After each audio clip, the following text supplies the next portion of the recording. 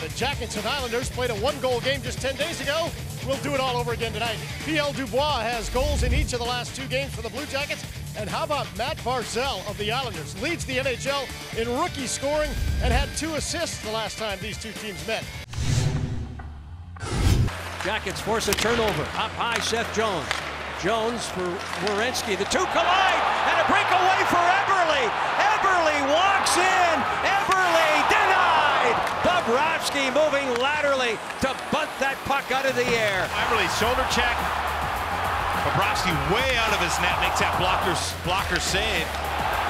And the Blue Jackets respawn as Eberle can't find this puck. Left point. Leddy. Bailey. Josh Bailey hangs on.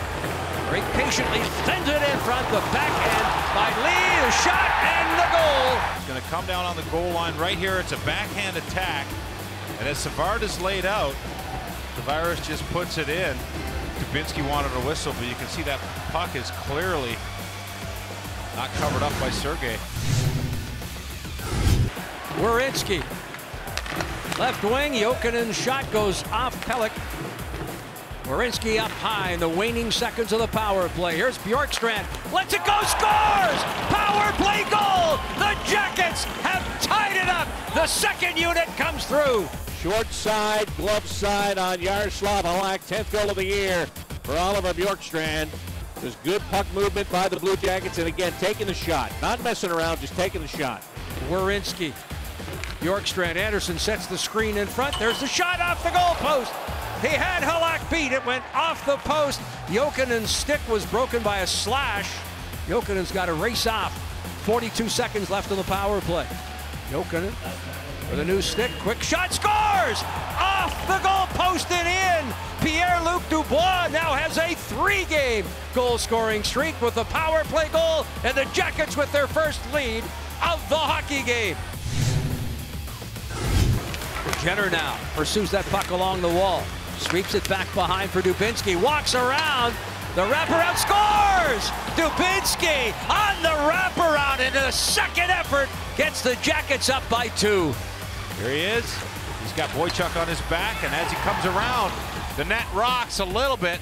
But Brandon sticks with it. The net settles down. Puck over the line in the back, and there's Dubinsky with a huge goal here for the Blue Jackets. Boone Jenner, the assist at 6.01.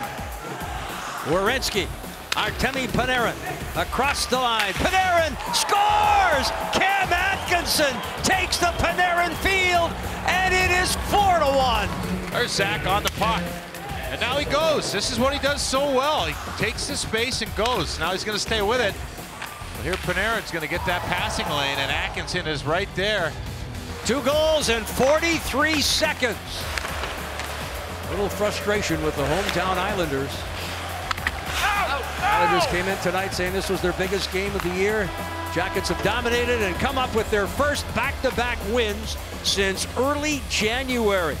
The seventh, they beat Florida at home, then went on to Toronto and beat the Maple Leafs. Their first back-to-back -back victories in over a month.